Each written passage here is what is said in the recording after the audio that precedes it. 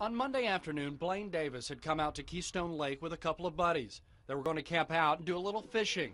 By late Tuesday night, Davis had not returned home.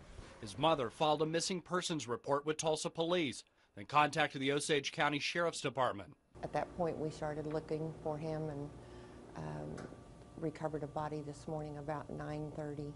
Under Sheriff Luann Brown confirms that the body is that of the 19 year old. Her investigators are now working the case as a homicide and interviewing several people, including the two boys who were with Davis on the trip. We have spoke with them and they have been released at this time. Under Sheriff Brown says there's a lot of unanswered questions with the case, including how Davis actually died. We're going to have to consult with the medical examiner to determine the actual cause of death.